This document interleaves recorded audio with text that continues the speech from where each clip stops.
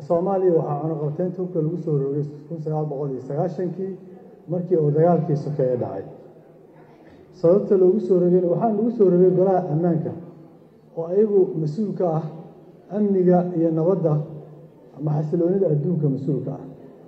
Waxayna noogu soo rogeen waxay ahayd in hubka uu galay gacanta shacabka oo uu ka baxay gacantii dowladdii markii ay dowladdii dhexe burburtay ilaa xilligaas waxaan la harjadaynay oo aan la halgamaynay in dowlad soomaaliyeed ee midii ugu horreysa la yagleelay carto labadii kun ee kumaalgaar aheyd in loo aqoonsado inay dowlad soomaaliyeed oo lagu aamini karo inay hub soo gadato hub ayada ay isticmaasho kaydsato sidii adduunka lagu yaqaanay dowlad ay u dhaqanto. Ma aysan dhicin dowladihii kumeelgaarka ah oo dhan way ka bixi waayeen shuruudahaas. Markii dowladda laba kun iyo labaiyo toban ay ka baxday kumeelgaarka wixii ka dambeeyey waxaa lagu jiray brosees dheer oo uu wasiirkii madaxxafiiska ra wasaaraha halkan uu ka sheegay oo aada u dheeraa runtii. Aadna u dhib badnaa oo aan ka soo gudubnay imtixaankiisa oo aan ku soo guulaysanay in cunaqabateynta laga qaado dowladda oo ay hub soo gadan karto isticmaali kartana. Marka waxay ahayd guul taariikhiya oo dhammaanteen aan ku wada faanaynay dowladda annaga wax dhammaanteen baarlamaan iyo xukuumad intaba laakiin hadda maxaa dhacay? Hadda waxaa dhacay in ammaanadaas iyo aaminaaddii dowladda la aaminay ay dhaawac soo gaaray. Dhaawacna wuxuu ka soo gaaray in hub sharci darro ah gacan shacab oo galay.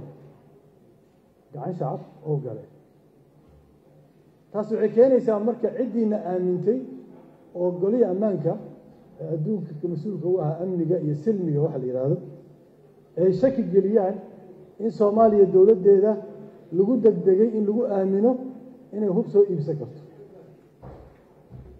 See looga bixi karaa marka? Marna annaga waa inaan u wada hadalnaa dowlad inaan nahay.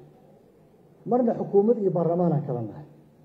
Laakiin markii aan dowladnimada u hadlayno waxaan u wada hadlaynaa waxa danta guud ee soomaali qarankeeda ku jira. Sida keliya marka aan dowladdiina way inkirtay. Golahadii ammaankaa fadhiistay golihii wasiiradaa fadhiistay waxay tiri hubkaas annaga shaqo kuma lihin oo waxaan ka ognahay ma jiro. Dad badanna aysan rumaysan arrintaas. Oo aniga aan ku jiro. Laakiin maxaa la rabaa dowladda hadday rabto inay ammaanadii iyo kalsoonidii soo ceshato oo mujtamaca dawligaa gaar ahaan golaha ammaanka uu siiyey waxaa laga rabaa inay broses rasmiga ay marto marka. Kuma filna guddoomiye guddiga loo magacaabay aan ka aamusna kuma filna. Sababtoo ilaa hadda annaga ma naqaano guddiga la magacaabay brotocolka ku shaqaynayo. Horta waa inaan helnaa guddiga arrinta loo xilsaaray brotocolka ku shaqaynayo. Maxaa ka mida brotocolka yuu warsanayaa guddiga. Yuu awood u leeyahay inuu warsado waxaan rabnaa guddigu inuu warsan karo madaxweynaha. Waxaan rabnaa guddigu inuu warsan karo wasiirka difaaca. Waxaan rabnaa guddigu inuu warsan karo taliyaha nabasugidda waxaan rabnaa guddigu inuu warsan karo taliyaha ciidanka. Waxaan rabnaa guddigu inuu warsan karo taliyaha booliiska. Dhammaan hay'adaha shaqada ku leh ammaanka oo golaha ammaanka ay ku jiraan oo uu ka mid yahay la taliyaha amniga qaranka madaxweynaha madaxweynaha naftiisa ra'iisul wasaaraha cid kasta oo shaqo ku leh howlaha amniga ee guddigaan u naqaano guddiga amniga waa inay soo warsan karaan. Si xor ah oo madax bannaan. Taas marka maxay keenaysaa? In kirdhib in nala aamino marka. In nala aamino dad hadday wax ka qaldamaan xataa qalad waa dhici karaa. Dad hadday wax ka qaldamaan waddo saxa u maraya inaan nahay laakiin haddaa sheekadii meeshaa ka jiri jirta guddigaa la saaray oo dib dambe loo arkaynin iyo golaha ammaankaa fadhiistay warqaday soo saareen adduunka saas ma lagu aaminayo waa inay ogaataan. Maxaa dhacaya taas beddelkeeda? Adduunka asagaa samaysanaayo investigationkiisa baaritaankiisa asagaa samaysanayo golaha ammaanka asagaa samaysanayo baaritaankiisa. Waxaana soo baxaysa marka in la duro credibility-ga ama hufnaanta dowladda soomaaliya halkaasna go'aan laga qaato. Marka haddaan rabno inaan iswada badbaadino oo aan badbaadino guushii aan gaarnay inaan badbaadino haddaan rabno waa inaan habkaas iyo waddadaas aan marnaa. Si aniga ila tahay. Annagoona waxna cidna farta ku taagaynin cidna aana cambaaraynayn hubna sidiisaba odayaa qaraabana hadda ka hor. Xalina meelaan ka sheegay. Toddobaatan iyo lixdii yaa goboladaas dhexe ciidan soofiyeed ah iyo ciidan soomaaliya isla socda. Saraakiil soofiyeed iyo ciidan soomaaliya. Oo hub culus lowdo dagaalkii seven seven markii loo socday yaa qada sharaf loo sameeyey. Markii qada sharafka loo sameeyey yaa saraakiishii soofiyeedka waxay ka warbixiyeen hubka fiican ay soomaaliya ay siiyeen.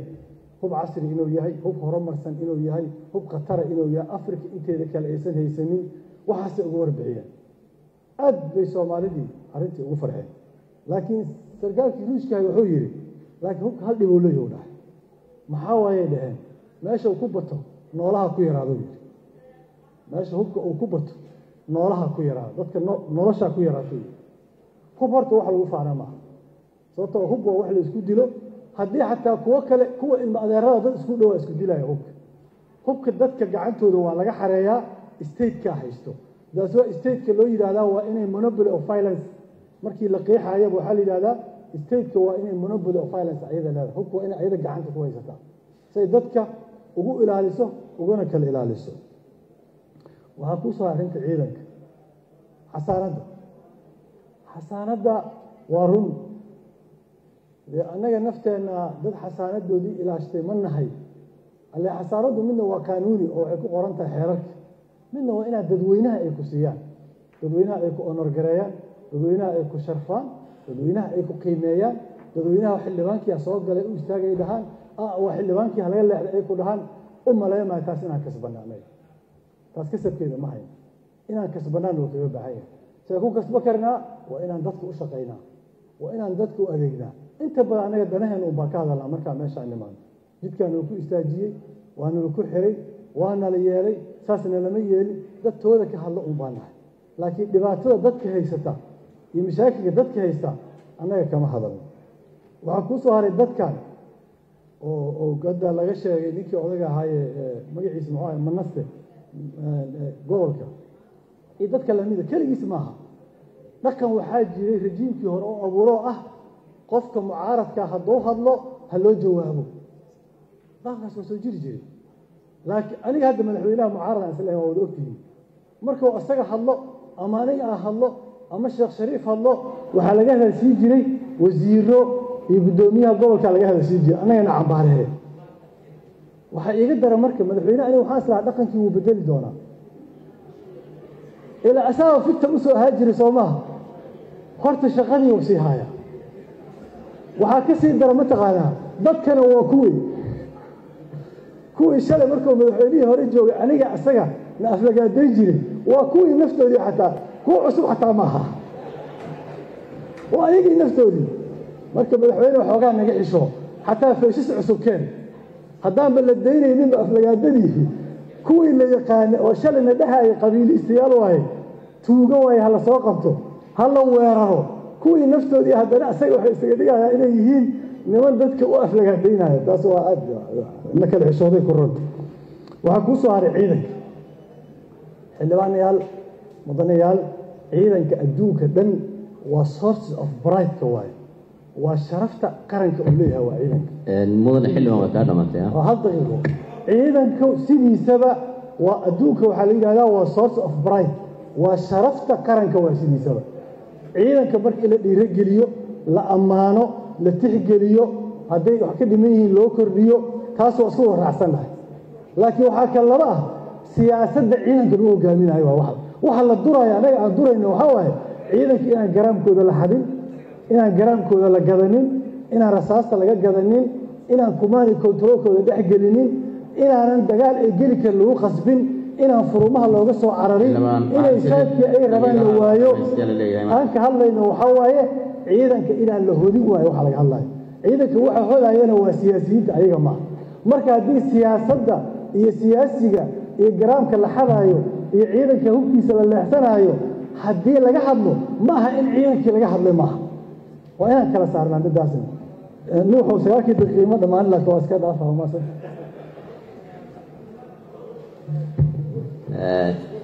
bishaaro bishaaro bishaaro shirkadda isgaarsiinta somtel oo soo kordhisay adeega kaafiya balas kaasoo aad ka heli kartid nus dolar ilaa iyo konton dolar haddaba macamiil ku shuba nus dolar oo hel hal dhibic shan g b oo ay la socoto toddobaatan daqiiqo iyo konton fariin qoraaleed ku shuba hal dolar oo hel saddex g b oo ay la socoto boqol iyo afartan daqiiqo iyo konton fariin qoraaleed sidoo kale macamiil ku shuba laba dolar oo hel lix g b oo ay la socoto laba boqol iyo siddeetan daqiiqo iyo boqol fariin qoraaleed ku shuba shan dolar oo hel saddex iyo toban g b iyo bar oo ay la socoto lix boqoloo daqiiqo iyo laba boqoloo fariin qoraaleeda sidoo kale macaamiil ku shubo toban dolar oo hel soddon g b oo ay la socoto kun iyo laba boqoloo daqiiqo iyo saddex boqol fariin qoraaleed. Ku shubo labaatan dolar oo hel toddobaatan g b oo ay la socoto laba kun iyo afar boqol oo daqiiqo iyo saddex boqol s m s. Sidoo kale macaamiil ku shubo konton dolar oo hel boqol iyo konton g b oo ay la socoto lix kun oo daqiiqo iyo saddex boqol s m s. Adeega kaafiye blas waxaad ugu shuban kartaa idahab